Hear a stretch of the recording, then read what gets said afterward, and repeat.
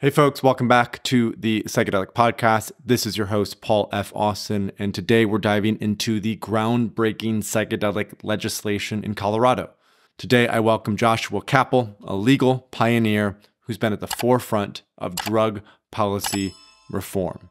Uh, Joshua is also a co founder of the Microdosing Collective. In last week's episode, we heard about Ali Shaper, and us three, Ali, myself, and Joshua, all started the Microdosing Collective a few years ago. And we talk a little bit about that in the episode today, specifically around what policy and regulation we need to create to ensure that microdoses can become accessible and available to everyone who wishes to use them. So, Josh is going to take us on a fascinating journey from his work in cannabis law to his current role in psychedelic policy, including the ins and outs of the Colorado Natural Medicine Health Act and what this means for the future of psychedelic access and regulation.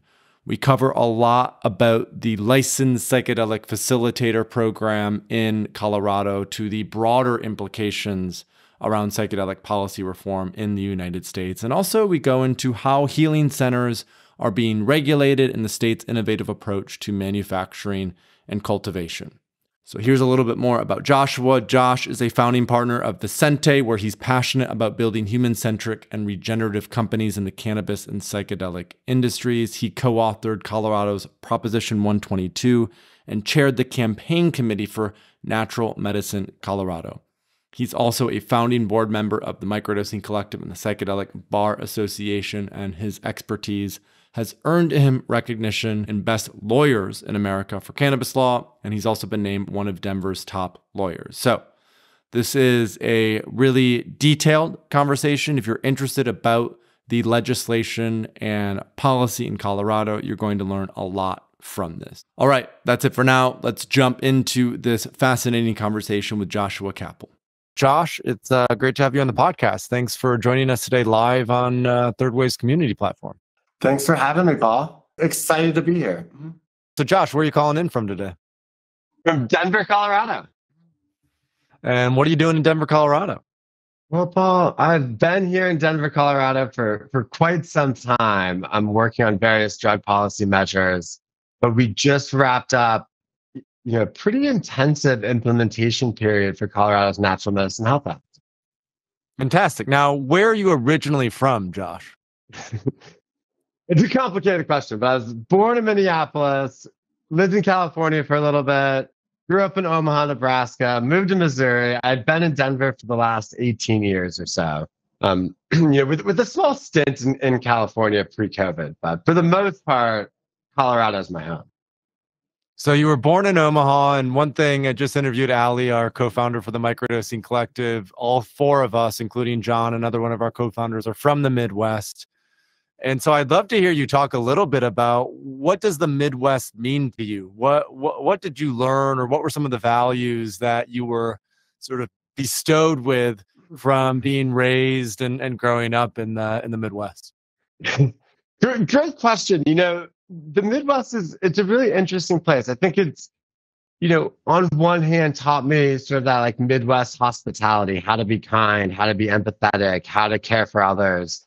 And on the other hand, it taught me that a lot of people don't share my same views of how the world works. And, you know, and there's a big debate, you know, I've been in drug policy for, for quite some time, you know, starting in college. I went to Truman State University in the middle of nowhere, Missouri. And I had a big conflict of do I stay here and try and like make this state better or do I go move to a state where it's actually more possible to make more meaningful change?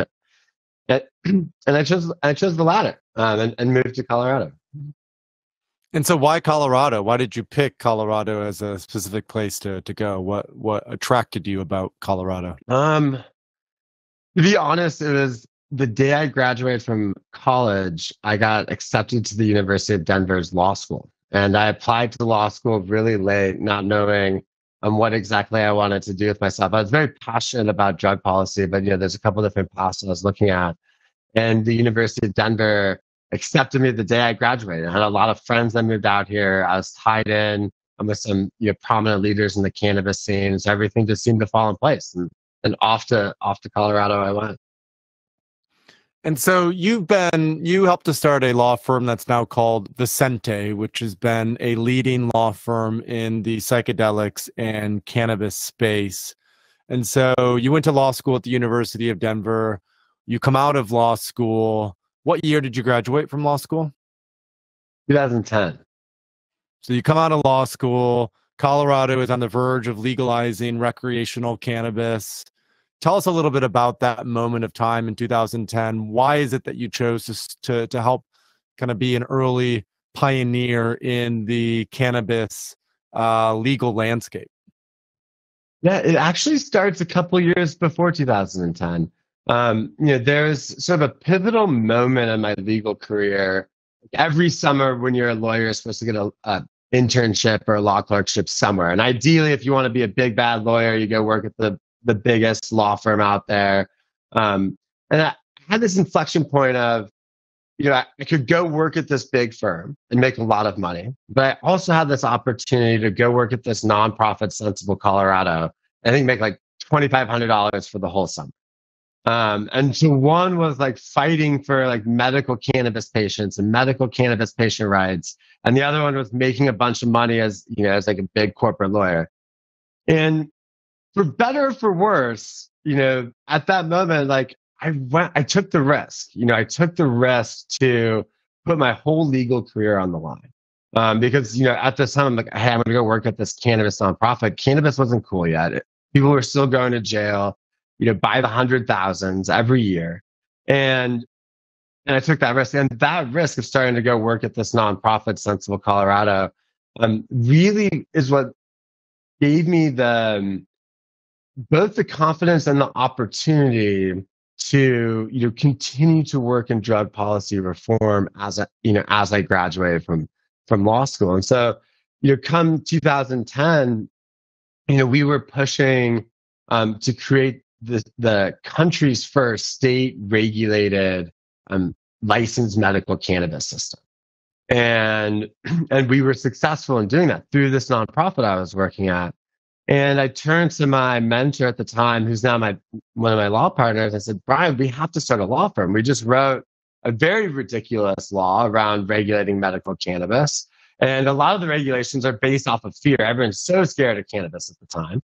And and to the yeah, let's do it. And so he's like, I know this guy, Christian Sederberg, and the three of us off we went to start this law firm. And and our goal at the beginning was like, how do we leverage capitalism to end drug prohibition? Like, how do we represent the leading members of the cannabis profession while also being at the table changing the laws? Um, and now I think there's like questions of like, hey, should you leverage the ending cannabis prohibition to end capitalism? But that's like a whole nother podcast. Okay, so you're you're at this you're at this precipice of medical cannabis. And t- I want to hear a little bit more about that because when I think of Colorado, I think of legal recreational cannabis. Why why did it start with a medical cannabis sort of regulated program? My understanding was California had uh, legalized medical marijuana in 1996. How was it that Colorado was sort of the the first in 2010 to actually um, do that? I'm, I'm a little confused there. Great question. Um, you know, so California was the first in legalizing medical cannabis. Colorado actually legalized medical cannabis in the early 2000s. In 2010, um, you know, there's this sort of weird federal policy flux. So the federal government is raiding certain medical cannabis businesses. And Obama gets elected, and everyone is like in, you know, full of hope. And Obama comes out with a statement that says, if you're in clear and unambiguous compliance with state law, we'll leave you alone as the federal government. And he creates this first like policy of tolerance. And so then what we did is we took that and said, okay, how do you create clear and unambiguous compliance with state law? Well, you have a license that says you can do what you, you know, you're allowed to do what you're doing. And so we created the first state regulatory system, the first licensing system for medical cannabis.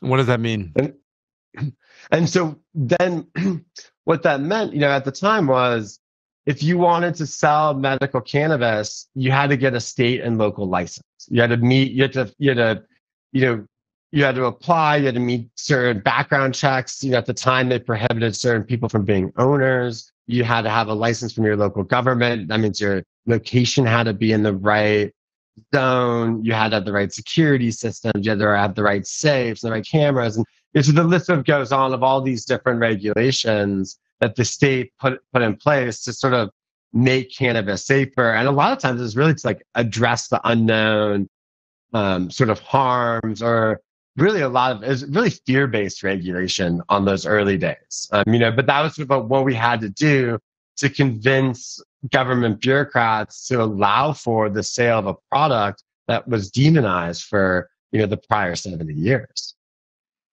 And the reason I'm asking all of these questions is because Josh was very involved with the writing of Prop 122 for the or Prop yeah Prop 122 yeah Prop 122 for the the Natural Medicine Health Act in Colorado for psychedelics. So I'm I'm just doing my best to lay some groundwork here to to better understand what was it that Josh and Vicente in Colorado learned through cannabis that uh, could then be applied to the psychedelic space, and and that's what I want to transition into, Josh, and spend the majority of our our time in conversation. So Josh and I first met at Wonderland, uh, the inaugural conference in 2021, RIP Wonderland.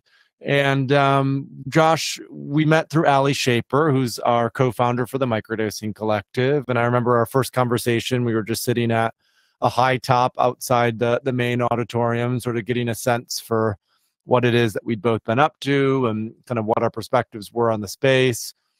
And I came to realize that Josh had been very involved with the Natural Medicine Health Act. And, you know, he was working on this basically campaign to ensure that Colorado could become the most forward thinking state to legalize uh, psychedelics. And so I'd love to go a little bit deeper into that story. You know, psilocybin was decriminalized in Denver in, I believe, 2019 uh, and then fully legalized with Prop 122 in 2022. And so, how is it that, or when did you decide personally, but also at a professional level with Vicente, to start to look into the possibilities of supporting uh, a legalized, regulated uh, environment within psychedelics? Yeah, um, you know, great question. And so, you know, from like the medical cannabis days, we've then moved into the recreational cannabis days and ran that out of our office and, you know, started to build this like whole new industry for better or for worse. And, and I became a little jaded as an attorney. You know, it's like we, we mm-hmm. had this success. I became jaded. And, you know, one day, you know, one day this um, lobbyist walks into my office and she says, Hey, there's these people that want to decriminalize psilocybin in Denver. And I look up from my desk and I'm just like, that is ridiculous. Absolutely ridiculous. Like no one has ever done this before. Like no one's like, no, like absurd. But like, are they organized? She's like, yeah. I'm like, are they passionate? She's like, yeah. Like, are they going to make the ballot? She's like, yeah. I'm like, okay, send them my way. And so, you know, there's like Kevin Matthews and Travis Tyler Fluck and some others from the Denver Decrim campaign. Me and Courtney Barnes, who's a great attorney who used to work for me at the time, you know, meet with them and we helped them craft the first sort of like city-based measure to decriminalize a psychedelic. And you couldn't really like decriminalize a psychedelic from a city level because it wasn't a crime, but we did what we could. We prohibited funding. We set up a review committee. We made it the lowest law enforcement priority. And then sure enough, that measure passes. And we're all surprised. I, you know, thinking like, oh, 45%, you know, I'll call that a victory. It passes and it sets off this wave of local reform. Um, you know, and you saw Oakland move next, and you saw other sort of communities start to like take up similar measures. Meanwhile, Oregon at the time, um, you know, with the Eckerts, the Sam Chapman, are pushing Measure 109, which is also another historic measure to create access to psilocybin services or psilocybin care in, in the state. So what we then did is, you know, after we passed this measure in Denver, like, hey, how do we do this statewide? And so we brought people together. It's not without controversy. We did what we could, and we started working with New Approach. Um, you know, Graham Boyd and Ben Unger at the time, and ran and polling, realized, hey, we could put together a statewide measure that creates access to psychedelic care, both in a regulated model, in a regulated setting, and through community use and personal use. And so we, we put we put together this model. Um, me, Tamar Todd was the lead drafter, Ed Ramey, Sean McAllister came in. And, you know, and we drafted the Natural Medicine Health Act, um, Prop 122. The, um, and it was a really, you know, groundbreaking measure. At some point, we, we decided we are debating. It's like, ah, should it be psilocybin or should we like add in some other psychedelics? And no one's ever tried like a statewide measure with multiple substances. And like, yeah, well, let's add in, you know, mescaline and let's add in ibogaine and let's add in DMT. And, and so we added in all these other substances. We made an exception on mescaline, excluding peyote, you know, you know, at the request of the statement from the Native American Church. Um, but you know, but we added in all these other substances. Like, how do we create access like a broader range of natural psychedelic, natural psychedelic medicines? You know, so it was you know deeply involved in drafting that. Um, then I was you know, chair of the campaign committee, more as a figurehead because we had a lot of really good paid consultants who were you know really running the campaign. Um, and then I've been working on implementing the law, which has been way more work than the campaign um, you know, for the last 18 months or so, or 20 months, um, through my role as a, as a policy advisor to the Healing Advocacy. And I want to get into implementation, but I want to save that for for the majority of our conversation. What I'd love to hear you talk a little bit more about is what is what are some of the distinctive differences between the Prop 109 that was passed in Oregon to legalize psilocybin and the Natural Medicine Health Act in Colorado? And what did you learn along the way after seeing what Oregon did to develop what I believe and you believe is actually a, a much better system for the legalization and regulation of uh, plant medicines? Yeah, I mean, obviously, I believe our Colorado system is better. Um, but you know what the Natural Medicine Health Act did. There's really three pieces of of what this law did and two of them are are very new compared to Oregon.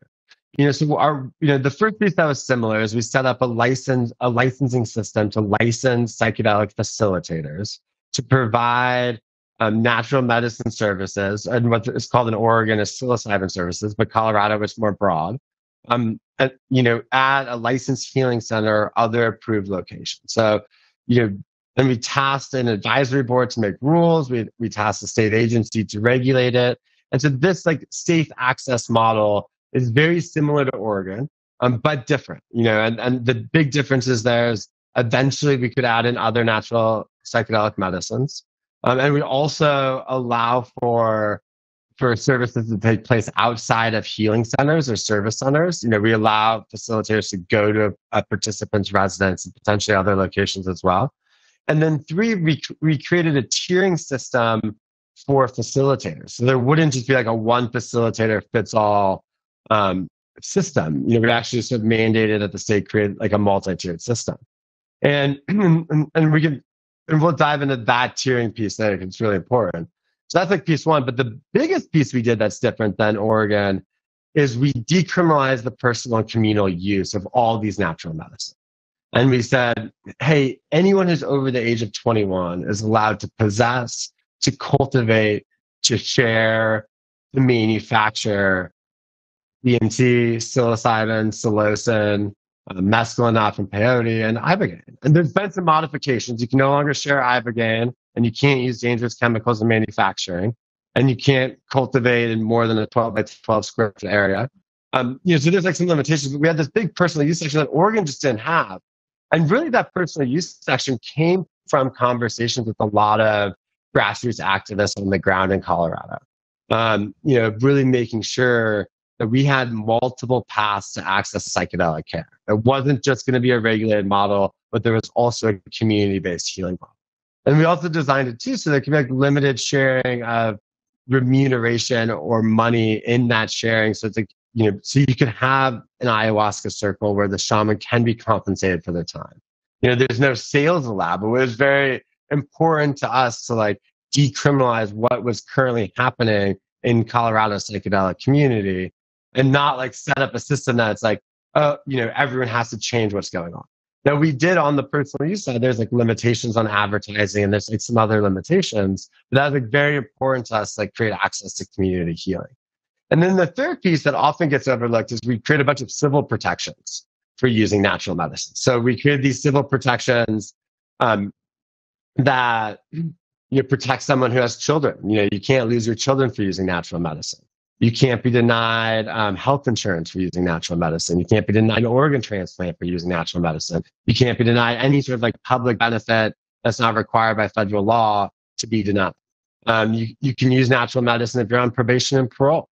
Um, you know, you can't necessarily, and this is a little bit of a gray area, but there's like, you can't use natural medicine at work, but there's like some other laws that protect like lawful off duty conduct. You know, so we sort of created a lot of civil protections so people who are using natural medicine um, wouldn't lose their jobs or wouldn't lose their children or wouldn't lose their house. And there's actually, and then the other piece of that too is we also protected professional licenses, professional That's license part holders. that I was going to ask. Yeah. You know, from using natural medicine, in part, you know, self-interested as a licensed attorney. You know, there's like pr- protections in the law, but also like licensed professional counselors or physicians or psychiatrists. And and granted, everything's still illegal under federal law. So there's like some legal complications depending on, you know, if you're a DEA prescriber, there's there's some you know, additional complications to the extent you're using or participating in the natural medicine space. Um, but for the most part, under state law, you know, there's a lot of, you know, there's a lot of protections. All right. So this is so. Can you just repeat those three again? The three kind of high level di- distinctive differences.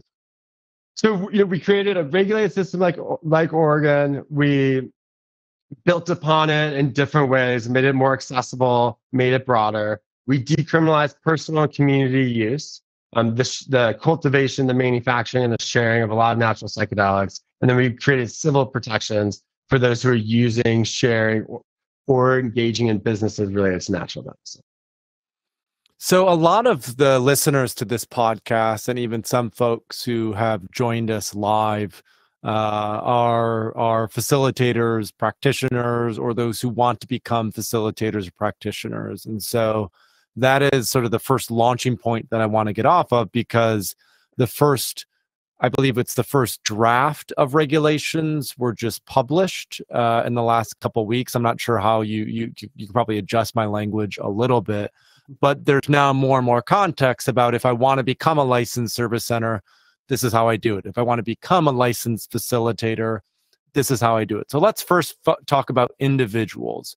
Uh, there's two distinct ways to become a facilitator. One is someone who has a clinical license, and one is someone who does not have a clinical license but still wants to become a practitioner or facilitator. Can you talk in a little bit more detail about for those listening at home if they'd like to to legally work with psychedelics as a facilitator in the state of Colorado. What are those options? How do they qualify potentially? And most importantly, is it only is it only available to Colorado citizens or is it available to anyone who goes through a training program that is uh, certified by the by the state of Colorado? Yeah, you know, so to start with, a lot of people, you know, we have the regulated side and we have this like personal use community healing side. We're going to put the personal use community healing side aside for a second and just talk about the regulated, you know, piece of this puzzle. Um, and you know, you know, so with the the regulated natural medicine program, there's sort of two agencies that were tasked with regulating it. Um, DORA, which regulates all of our licensed professions, and DOR, which regulates different businesses. And DORA, which also regulates um, physicians and therapists and social workers and stockbrokers and archi- archi- you know, professional architect whatever. Like they're they're looking at this new, new system and they said, hey, we're going to create. There's, there's a mandate, so they, they kind of had to create it, but we're going to create this new profession of licensed facility. And then, you know, so we have this new profession under DORA. And through the rulemaking process, you know, they decided that it was best to create two types of facilitator licenses. One is just the classic facilitator license, and then one is a clinical facilitator license. The big difference with a clinical facilitator license is that the clinical, in order to qualify for a clinical facilitator license, you have to have another professional license in Colorado. And whether that's, you know, you're a licensed professional counselor, you're a social worker, you're a psychiatrist, you're an advanced nurse practitioner, you're a psychologist, you're an MD.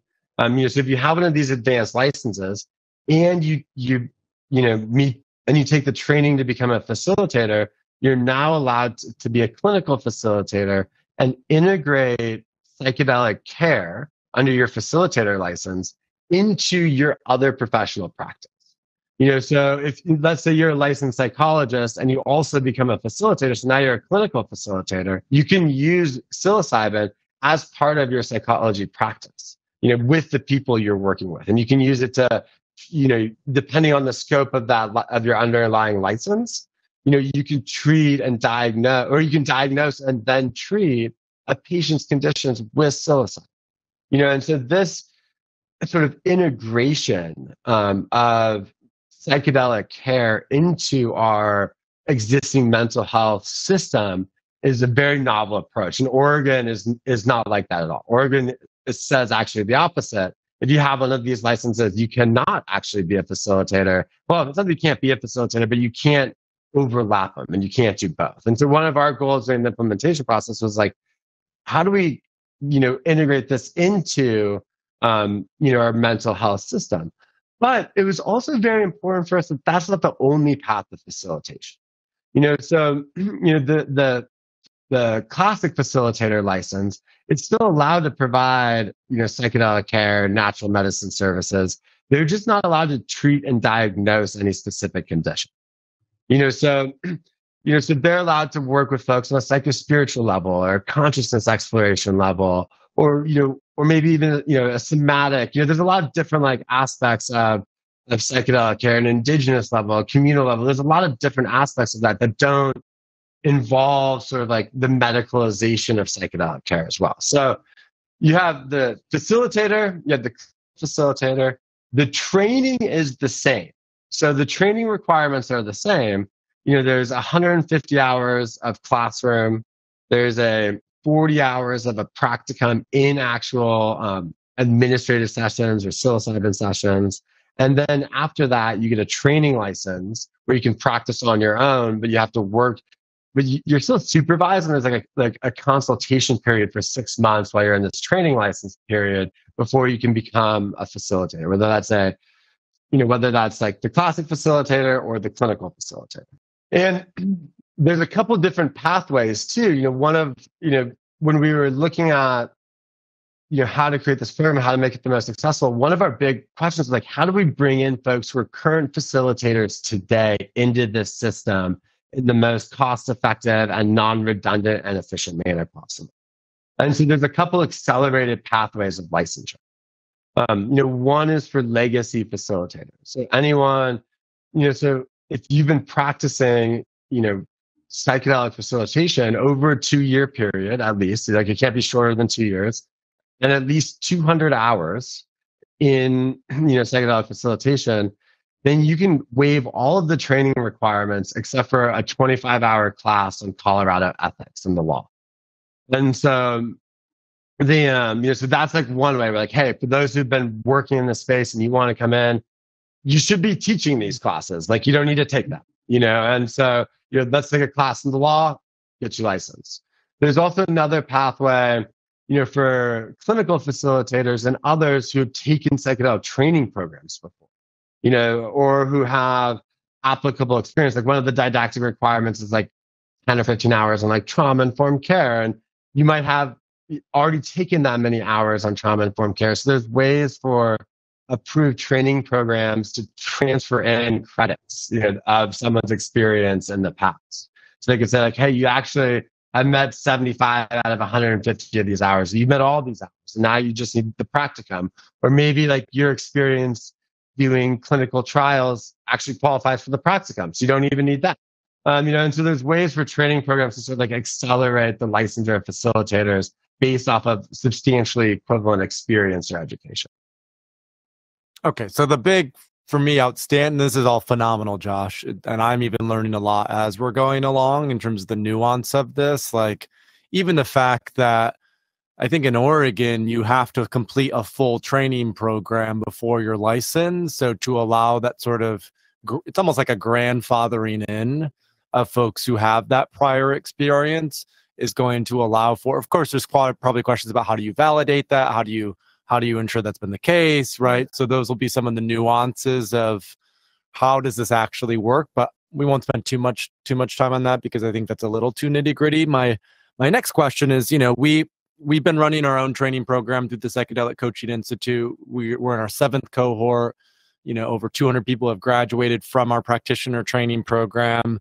And there's a substantial number who are in Colorado. I'd say 10 to 15% of folks are actually in Colorado, but 90% of these individuals are are elsewhere. And so I'd love to hear you talk a little bit about if someone lives in California, or if they live in New York, or if they live even overseas, can they become a licensed facilitator in the state of Colorado with an understanding obviously that they would have to practice in Colorado to to be legal. But I'm thinking of people who might want to run retreats and sort of fly in from various places and host retreats in Colorado utilizing plant medicine legally.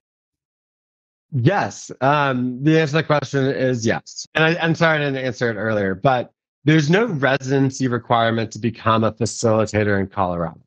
You know, there is, you know, if you're a licensed psychologist in California and you want to be a clinical facilitator in Colorado, then you have to like transfer your psychology license over, you know, to like you only you only qualify for a clinical facilitator if you have a Colorado secondary license.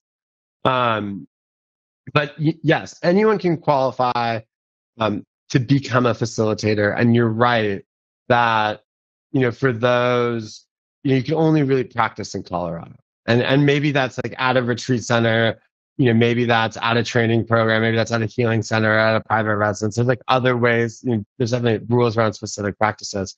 Two other things that that reminds me of, though.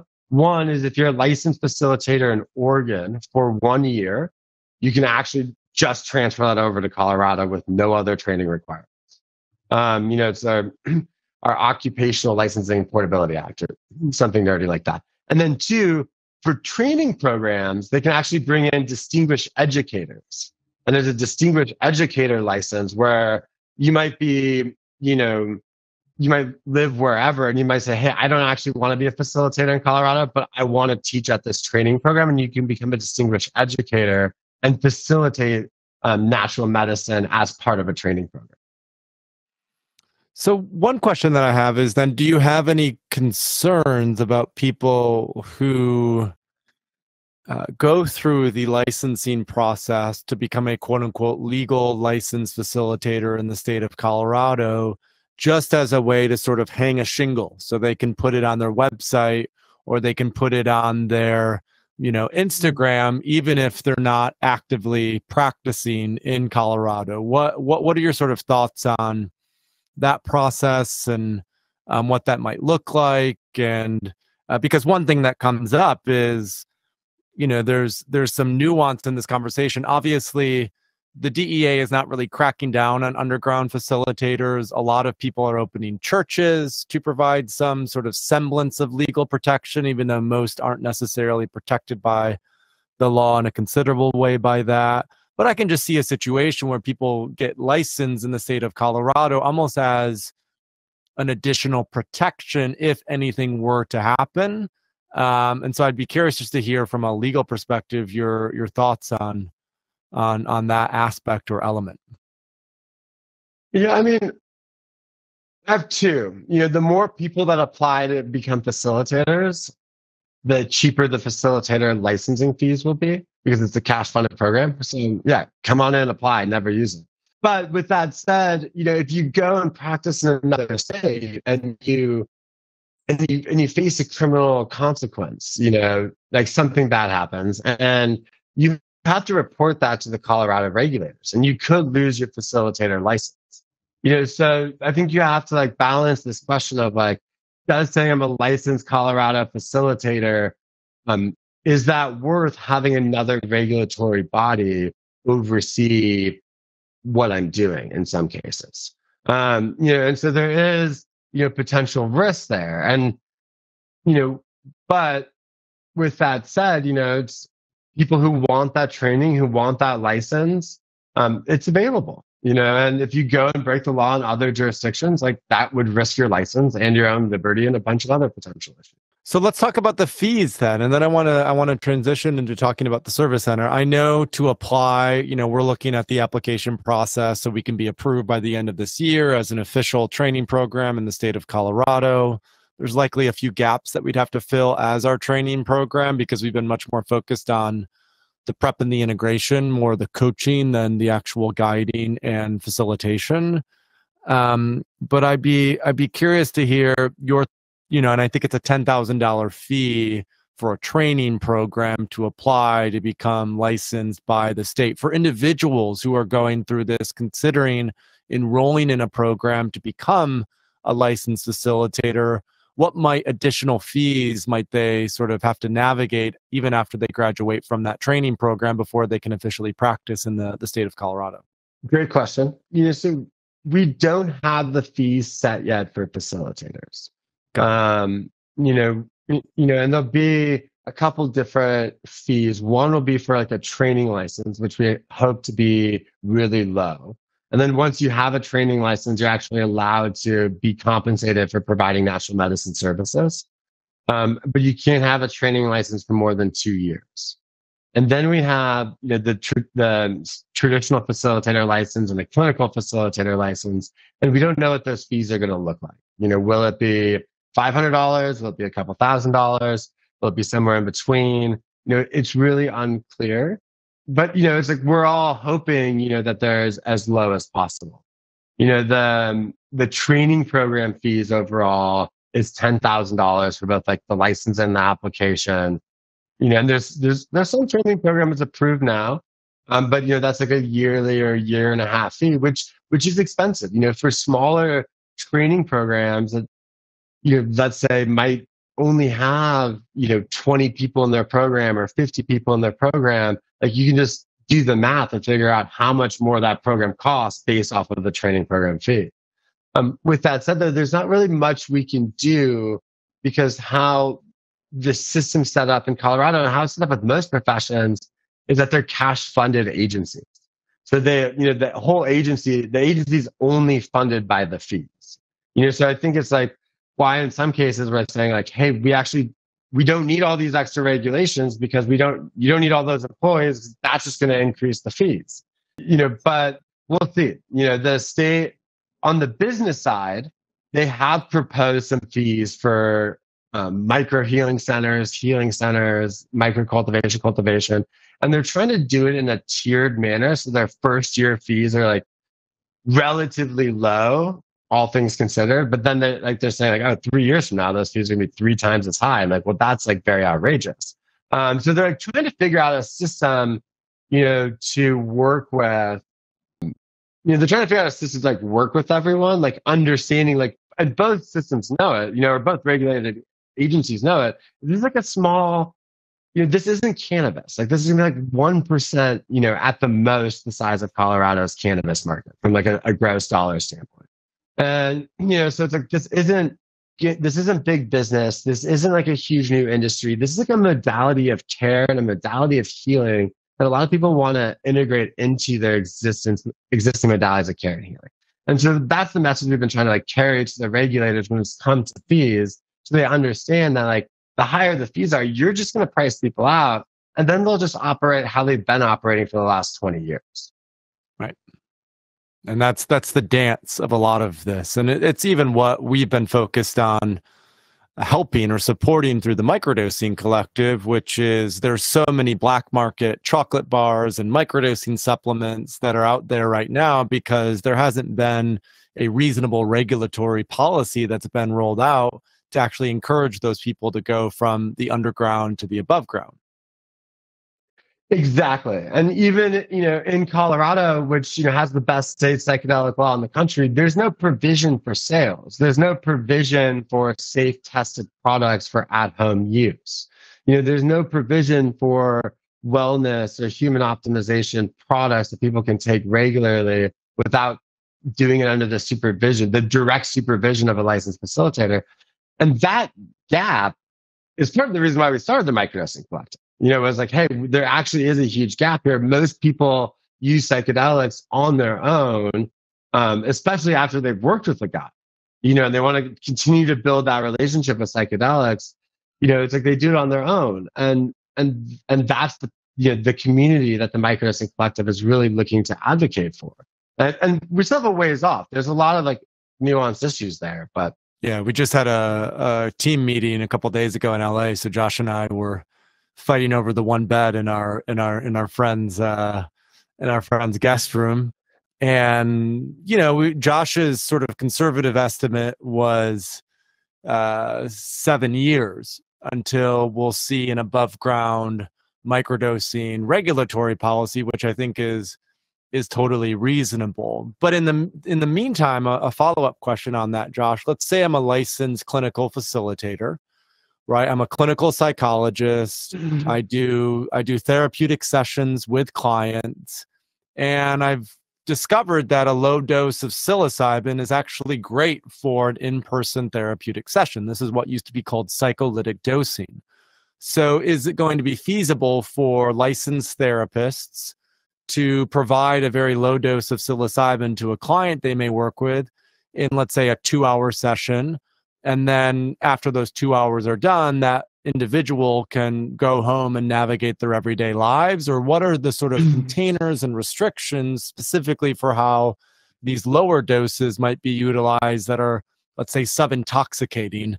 Uh, it's not like it's going to be a full you know journey where they go deep for five to six to, to seven hours yeah this is this is a pain point right now in colorado's regulation you know the the minimum amount of time um, someone needs to be with a facilitator is three hours um, you know and, and that's for a dose under 10 milligrams of psilocin and our colorado regulations have a interesting calculation of how you convert psilocybin to psilocin.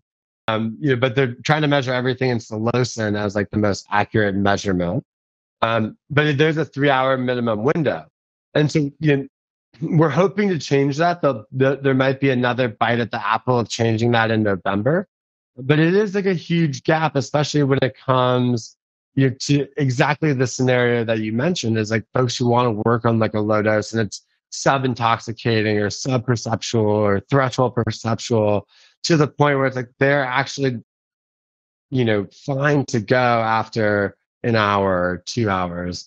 And it's, and it's, you know, that's what's okay in Oregon. Like Oregon actually has that rule, you know, you know, where you can leave after, I believe, 45 minutes on certain doses. And Colorado just sort of like looked the other way and, and made this like three hour limit. You know, that I've sent in comments for them to change, and hopefully, you know, you know, we can get that change to create more accessibility there.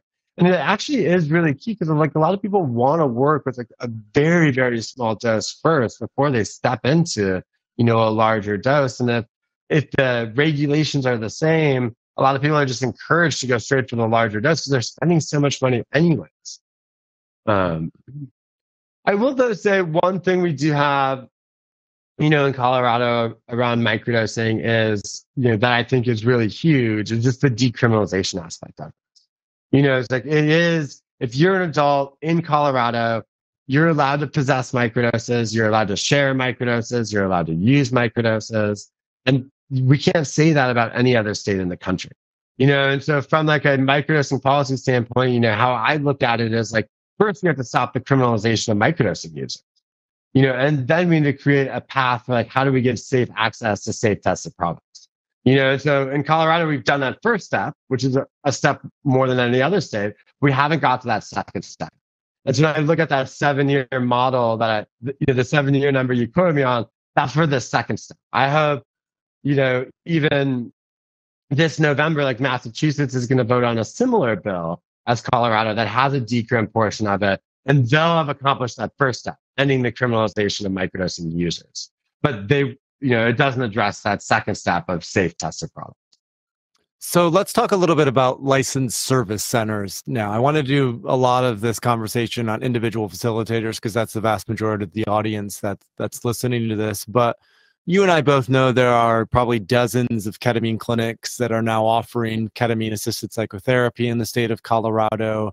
We're also well aware that the FDA just rejected MDMA assisted therapy. So that will not be rolling out anytime soon. And the FDA isn't really slated to potentially um, approve another psychedelic medicine until 2026, but more likely 2027. And so I'd be curious to hear kind of just how Colorado has set up the system for these licensed service centers, uh, what the details of that are, what the nuances of that are. You had mentioned before that it's not just clinics that will have access to this, but also private homes can be a potentially licensed service center. So just bring us a little bit deeper into the the nuance of who can be approved, what physical places can be approved to actually provide uh, legal mm-hmm. psychedelics under the Natural Medicine Health Act. Before I get there, I want to talk about this private home piece. You know, so there's you know, so there's these licensed healing centers that are regulated by the Department of Revenue, uh, and there's two different types. We'll talk about those. But outside of licensed healing centers, a licensed facilitator is allowed to go to a private residence to provide natural medicine services. But there's a couple of restrictions. One of the participants in that like individual session or group session has to like have a legal right to possess that premise as like a resident. You know, some, you know, like let's say I could have a facilitator come to my house and like provide me natural medicine services. My house doesn't need to be licensed. There are special requirements though. If if it's you know, if you're going into a private residence, then there either needs to be two facilitators or it has to be recorded. This, this session has to be recorded. Um, but you, there can't be any children present, any other hazard, hazard. You have to do a safety check of the premise first. And then, but you can have group sessions at private residences too. So you can have up to 64 people in a group session under the rules. You need one facilitator for every four participants though. So that's like the ratio. Um, and that can happen at a private residence or at a human center. Now, there's also some rules, but we're trying to clarify these in November, of allowing that same system to happen at healthcare facilities and potentially like other commercial businesses as well outside of the healing center license. But I wouldn't count on the healthcare facilities most likely, but other locations, probably not. So that then brings me to if you want to open up a, you know, if you want to open up a business where people are continuously receiving natural medicine services or psychedelic care under Colorado's law, you need a healing center license. Um, the and what we advocated for was two things in the healing center licenses. One was you know flexibility, and the other one was safety. And so what, how we how we set up the system is there's a micro healing center license and an, and a traditional healing center license for a micro healing center license, um, if you have less than 750 milligrams of psilocin, which, you know, re- reverse engineer, that's like how many, you know, grams of. How much approximately do you know? I'm telling people like 75, 75 grams of mushrooms, you know, but it's probably more like 100, you know, with like the, you know, with the psilocin calculation in there. And, you know, so if you're a healing center, you have less than 100 grams of mushrooms, then you don't need a big security system. All you need is a lockbox to keep your mushrooms in. You need a camera that's like focused on the lockbox. And you have to like follow the other, you know, requirements around record keeping, around, you know, posting some signs, you know, and there's like some, you know, having a bathroom that people can use, but the bathroom can be shared. You know, and so that's sort of like this micro healing center license. And then if you have more than that amount, you know, you you know, then you just have a normal healing center license and you have to have a full blooded security system. Now, on the healing center piece, what we were advocating for and what actually made it into the final regulations was this idea of like multi-use premises. You know, so you know, we didn't like in Oregon, a lot of sort of the service centers are like you know dedicated to national service centers. Ours are very different. Like, you know, you can overlay a healing center license onto any other business. Um, you know, you can offer other modalities of care. The restrictions on someone being, you know, un, you know, under the age of 21 only apply if there's natural medicine there. Um, you know, in that administration's area, you know, which can then like, you know, be used for other for other systems too. You know, the license holders are not allowed to take regulated natural medicine there, but there's like provision. There's no prohibition on someone having like a personal use or community use like ceremony at these locations. Um, you know, you can have a yoga studio at these locations. You have a you can be a, ther- a therapist office. You know, so it's the idea is like how do you so our big push is like how do we actually create this as like a license you can overlay on other types of businesses and the rules like pretty much reflect that um, there is a prohibition you can't have your license at the same location as an alcohol license or a cannabis license um, but even that you know if it's on a large retreat center like locations defined as is it, there's a nuanced definition of it. So you have like one building that's a restaurant and a different building that's a healing center. You know, so that's like the healing center piece. You know, there's also you know, a manufacturing license, you know, and the manufacturing license, there's sort of two types of manufacturing licenses as well. One that can just make tea bags and capsules, and then one that can make chocolates and gummies and tinctures. Um, and there's limitations on what sort of products or additives you can use, you know, use in the creation. There's, you know, limitations on what you can use in the extraction. Like they're really encouraging like a cold water extraction. Um, yeah, but there's your specific rules around manufacturing. And then there's a cultivation license that allow, and, and there's also a micro cultivation license and a cultivation license. Similar sort of cutoff. Um, it's 750 grams of mushrooms a micro cultivation license can store at any one time, and five kilograms of mushrooms, of dried mushrooms, a normal cultivation license can store at any one time. And there's specific rules around testing, um, contaminant testings, you know, with the whole diamond shroom things, you know, they want everyone to test for 4-ACO DMT now, in addition to some other contaminants. They've required different alkaloid testing for other, you know, for other tryptamines. Um, and there's like specific packaging rules as well. You know, it has to be in childhood packaging. If it's going to leave a healing center, you can't market to kids. There's marketing rules. Um, but overall, the whole system is, you know, is really designed to be a closed loop system. You know, licensed products in the system come from a licensed cultivator. Maybe they're manufactured, maybe they're not. Then they then they can go to the healing center two other like key pieces to know. One is like healing centers are allowed to do sort of like lemon tekking or mixing at on site. So they can get dried mushrooms and then mix it in and make tea or you know mix it into another product on site. They don't need a manufacturing license for that. So I think what we'll see at least at the beginning is probably like some micro cultivation licenses with some healing centers, and that's gonna the main form of ingestion will be you know some you know some sequel. And second, you know, that there's a requirement that every license creates an ESG plan or like an environmental social governance plan. And this is sort of like a novel product, not even a novel, but a novel regulation of like mandating some sort of like corporate social responsibility in, you know, in this system. And what that, and what those rules say is like, you need to choose, you know, you know an environmental plan a social plan or a governance plan that like you sort of highlight and make your own and make that publicly available so the public can hold you accountable.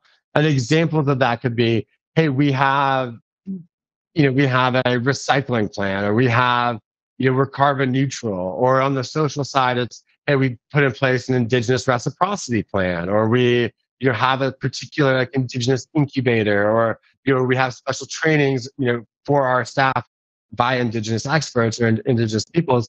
And then like on the third piece on the governance side, it's like you have transparency and there's like different aspects of it. So you, every business has to pick something that they're doing and then make that available. And you know, it's not like the, you know, it's not the your strongest regulation, like the you know people's you know feet aren't to be held to the fire, but it sort of sets the tone in this space. And we're looking for actors who participate in this space that care more about just the bottom line. You know, and and and there's many things they can care about besides just that bottom line, but care about something. And then I guess third bonus piece is there are limitations on public companies. Public companies aren't allowed to hold a license. And anyone who holds a license can't have an interest in more than five licenses. So the idea is like not to have one business and all the healing centers in Colorado, but to sort of like keep these smaller, hopefully facilitator led. There's a bunch of other, you know, aspects of the rules that could, you know, that could I think we got this is I, I'm starting I'm starting to get a little like I think uh bored. And uh and I appreciate the uh the the nuance here because I think it's important. And, and Josh and I connected right before the podcast, and I told him I'd really love this to be a podcast that is shared for anyone who has someone who might be curious or interested about what are these new rules and regulations going on in Colorado. And Josh, you've done such a phenomenal job of going through the details for individuals, of going through the details for manufacturers, and also for licensed service centers. So we have about five minutes left. And the the sort of question that I want to ask you is, you know, you mentioned Massachusetts earlier in this conversation, uh, how they have a ballot initiative in November of this year to legalize psychedelics in a similar way as the Natural Medicine Health Act. We went to Sacramento in April to talk to legislators in California. Unfortunately, it's unclear um, how soon California will legalize psychedelics. And so I'd just be curious to hear your top of mind thoughts of what else is going on from a policy perspective outside of Colorado. What other states do you think are, you know, looking to potentially legalize psychedelics in the next, you know, three to five years? Yeah, great question. You know, right now all eyes are on Massachusetts as sort of, you know, the next state that has a ballot measure in November. So November 2024, you know, if you're bored with the presidential election, turn in, check the results of Massachusetts and see, you know, see what happens. You know, I'm betting that it's going to pass. I think the public really wants access to psychedelic care, um, but we'll see. You know, so that's something to watch.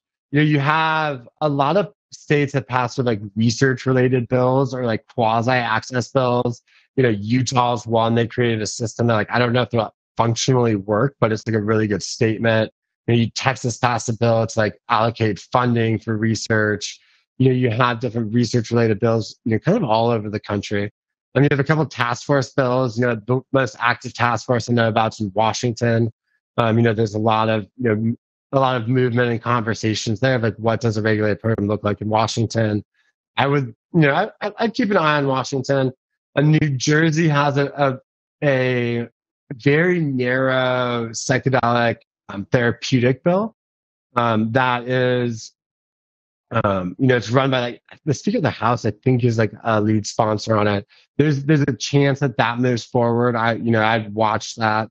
Um, New York introduced a bill that I find to be the most fascinating from a policy standpoint, um, because it sort of bucks the trend of a of creating supervised access to psychedelic care and says, hey, anyone should be able to access psychedelic care for, you know, for treatment or for wellness. And so their model says, you know, if you qualify, their model says like if you qualify, then, you know, then you have to take a four hour class. And with that four hour class, you like a psychedelic user permit.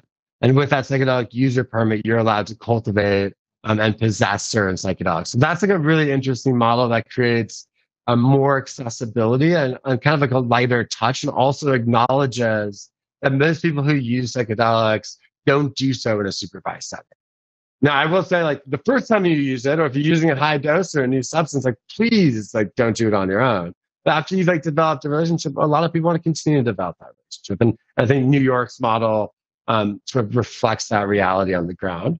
And then you also have, you know, everyone's looking at California and sort of like wondering what to do next. You know, this bill, you know, the decrim bill was vetoed by the governor that then led, that just decriminalized psychedelics. It led to this regulatory bill. That bill ended up dying. Creating more regulation in California is actually more complicated than you might think it would be. And then, you know, now there's a question like, hey, should there be a ballot measure? If so, what does that look like? Should they go back to the legislature? Um, you know, so there's a lot of eyes in California and a lot of people having conversations about like what is the best path to create access here. And, and you know, and I think kind of like stay tuned and, and you know, see what that looks like. Yeah, we're hopeful for a ballot initiative in the state of California. We're also well aware of how expensive it is, but it feels like at this point in time, with how uh, gridlocked the legislature has been around it, that a ballot initiative may have some uh, capacity to be successful. So, Josh, that brings us to time. We've been going live for an hour. This this was a fantastic deep dive into the Natural Medicine Health Act, how you know your work in cannabis helped to set some of the groundwork for what you were able to help bring to life through the Natural Medicine Health Act, as well as a little bit of context on on what's going on in other states. If anyone is listening to this, if you want to get involved, we'd encourage you to go to microdosingcollective.org. That's the nonprofit that Josh, myself, and Ali Shaper have started to support legal above ground uh, use of microdoses of psilocybin mushrooms. And you, you can become a member or a donor at microdosingcollective.org. Uh, there's also a great article on psychedelic alpha that goes into more detail about the Natural Medicine Health Act that was written by Vicente, the the law firm that Josh is a partner in. So we'll link to that in the show notes if you want to go and have a deeper dive into some of the rules and regulations of Colorado. And Josh, any other places that you'd like to point people before we close out today? Um, you know, the psychologists for those who want to get involved in implementation in Oregon or Colorado or soon to be Massachusetts on the regulated model, the Healing Advocacy Fund, um, you know, is a good organization to, to look up as well. And stay tuned, you know, I, you know, with the sort of setbacks at the federal level, which we, for folks who've worked in cannabis forever, who's always doubted and the, the, the federal government would ever catch up to what the of the people want. Um, the state access model seems to be you know, the path forward. Uh, you know, I think we'll see a lot more development there. And you know, as Paul said, the ballot measures are um, what we're hoping for because the people are generally lead on this issue, and politicians are scared of the unknown. Stay tuned. Microdosingcollective.org um, is definitely the best spot to get involved. And thank you so much, Paul, for having me. Thank you, Josh, and anyone who's still listening and tuning in. Let's let's give Josh a big, you know, virtual round of applause, or maybe just drop in the chat uh, a note of thank you or appreciation. We really appreciate him joining us for this live podcast, going into incredible nuance and detail about uh, the Natural Medicine Health Act. We'll also be publishing this podcast live through our normal channels, so you can tune in again if you want to uh, just sort of review a lot of this because we did cover quite a bit. And uh, Josh, we just appreciate you and, and everything that you've done for this space and how you've been a, a real pioneer for all, a lot of the legislation that has had a positive impact in both cannabis and psychedelics. And, you know, our work at the Microdosing Collective uh, would not be possible without your contributions and everything that you've um, brought to it from a legal and policy policy uh, perspective. So uh, I appreciate you and we appreciate you. And uh, thanks so much for joining us today. Thanks for having me. And, you know, I'll just leave everyone with this is the, the psychedelic space is still yet to be created. And so we're all in this together. Hey, listeners, Paul here. I hope you found our episode with Joshua Kappel as illuminating as I did. Don't forget to check out the link in the episode description for the full show notes and any resources we mentioned today. And we'd love to hear your thoughts on this conversation. Join our community platform, share them in there. You can sign up for free at community.thethirdwave.co. And finally, if you enjoyed this episode, make sure to follow the Psychedelic Podcast wherever you get your podcasts so you never miss an episode. And maybe share it with a friend or someone who you think might benefit from learning about Colorado law. All right. Thanks for tuning in, and we will catch you next week for another exciting episode on the Psychedelic Podcast. Thank you so much for watching. If you want to stay up to date on the third wave of psychedelics, subscribe to this channel and visit thethirdwave.co, where you'll find plenty of free resources on the intentional and responsible use of psychedelic medicine.